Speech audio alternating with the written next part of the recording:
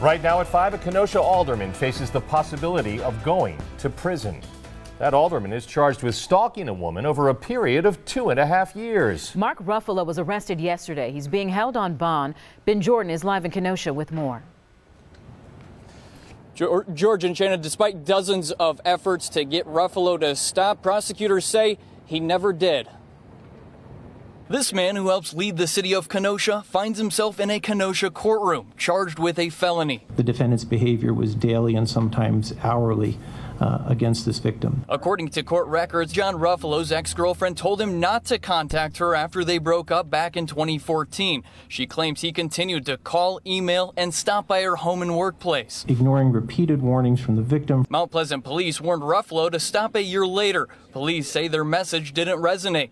The victim reported receiving hundreds of calls from block numbers since. Even as recently as a couple days ago. Mount Pleasant police then served a second warning this May and installed a hidden GPS tracking device on Ruffolo's car.